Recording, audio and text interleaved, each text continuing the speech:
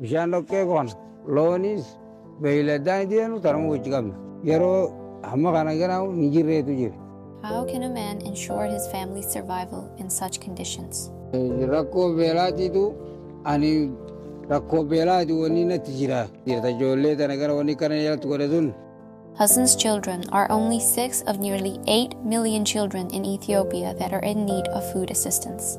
That's why at Charity Right, we believe school meals for children is the right way to help.